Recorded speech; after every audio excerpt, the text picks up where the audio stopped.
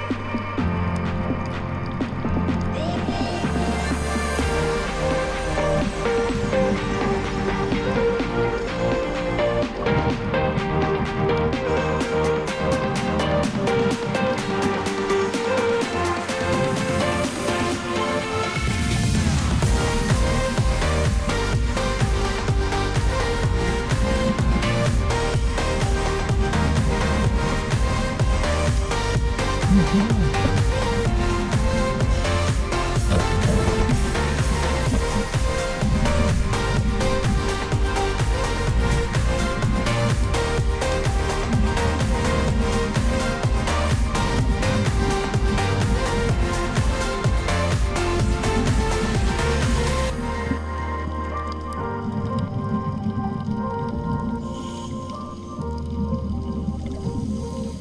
If you guys are ever down in the West Palm Beach area, check out Blue Heron Bridge. You've been snorkeling, diving, whatever. Come out here do a little swimming, take the family out. It's pretty awesome. Uh, Jordan and I, we went down, saw quite a few fish. Jordan, I think he got stung by something because something always happens to Jordan when we're out. Hey, don't forget, hit the like and subscribe, and I will see you guys on the next one.